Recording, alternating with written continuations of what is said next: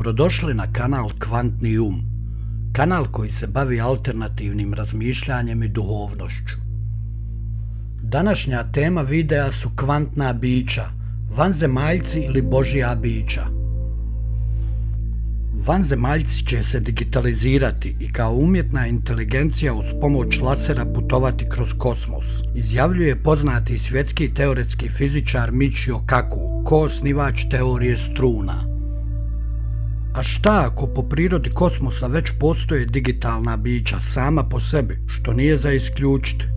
Ako smo mi u skorijoj budućnosti u stanju da se digitaliziramo, onda također postoji mogućnost da postoje takva bića od samoga početka. Ali mi ovdje ne govorimo o digitalnim bićima, mi govorimo o kvantnim bićima. Naime, postoji pretpostavka da postoje vanzemaljske vrste iz viših dimenzija koje su u stanju da se kreću kroz kvantni svijet. Ako malo obratimo pažnju na kvantnu fiziku i kvantnu mehaniku, brzo ćemo primijetiti da se sve na kraju svodi na postojanje nama neobjašnjive energije, Božije energije ili energije apsoluta. Ako uveličate recimo proton do te mjere da ste u stanju staviti ruku u njega, onda ćete osjetiti tu energiju, Kvantna bića upravo tu energiju koriste kao medijum za kretanje.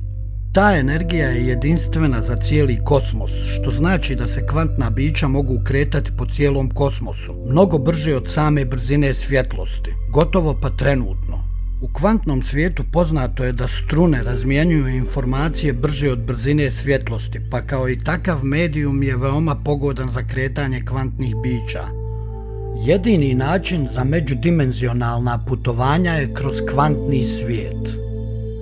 Kada kažem kvantna bića, pritome ne mislim da su ona vrlo mala, veličine kvantnih jedinica, nego radije mislim da ona borave i kreću se u tom kvantnom svijetu, u tom energetskom svijetu. Ta bića nemaju boju, oblik niti veličinu onako kako bi mi to mogli da pretpostavimo jer mi oblik možemo samo da zamislimo kroz našu trodimenzionalnu stvarnost, a boja tako i tako ne postoji sama po sebi. To je čista percepcija našeg uma. Dok je naša mjerna jedinica za veličinu bazirana na kapi vode, to jest na jednom centimetru. Kvantna bića mogu da se manifestuju u bilo koji postojeći oblik kroz kvantni svijet. To su osmodimenzionalna bića više svijesti koja su u stanju da zaposjednu više entiteta odjednom kako bi se hranila našom energijom.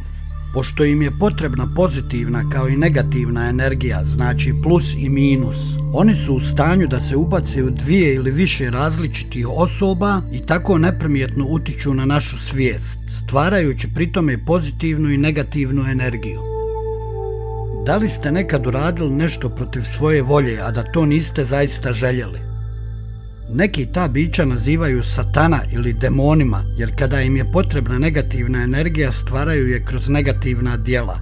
Ali oni uopšte to ne rade sa namjerom da nam naude. Zapravo oni uopšte nemaju nikakve namjere, u njihovom svijetu ne postoji dobro i loše, svjetlost i tama, to postoji samo u našoj projekciji svijesti. Oni su bez namjere i takvi su po samoj prirodi svoga postojanja.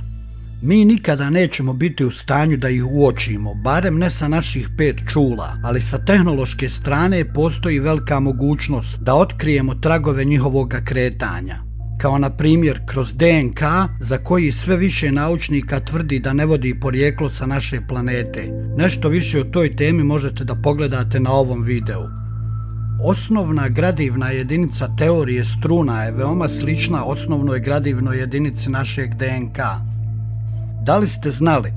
Ako postavimo DNK ispred lasera pa zatim ga uklonimo, oblik DNK će se još par narednih minuta zadržati u vidu holograma.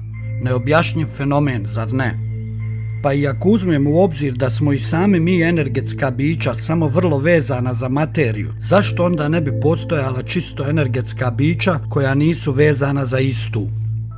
Energija je srž našeg postojanja i kao takva idealna za boravak, kretanje i manifestaciju raznih oblika.